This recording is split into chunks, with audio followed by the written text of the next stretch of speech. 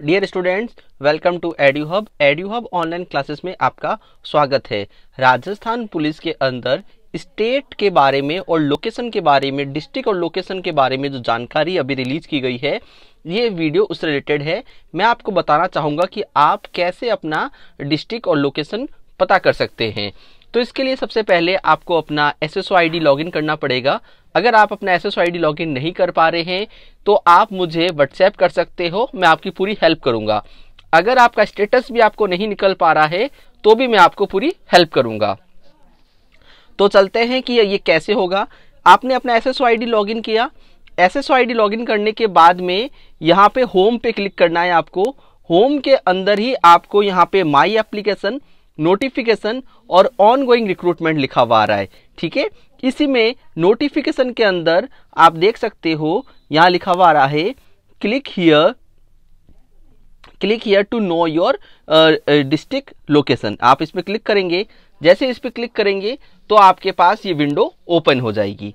ये window open होने के बाद में यहाँ पे आपको एप्लीकेशन नंबर एंटर करना है।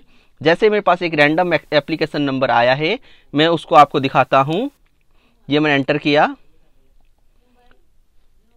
Eight three six zero one उसके बाद मैंने यहाँ पे डेट ऑफ़ बर्थ एंटर किया।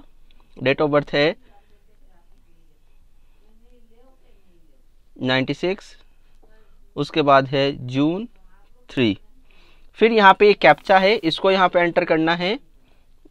F six eight seven four C और मैंने इसको सबमिट किया। जैसे ही मैंने इसको सबमिट किया तो आप देख सकते हो रिक्रूटमेंट नेम क्या है? Recruitment of constable 2019 post constable general non TSP application number आ गया। कैंडिडेट का नेम आ गया कानाराम मेघवाल और लोकेशन आ गया झुंझुनू। सेंटर का जो लोकेशन है, वो झुंझुनू में रहेगा।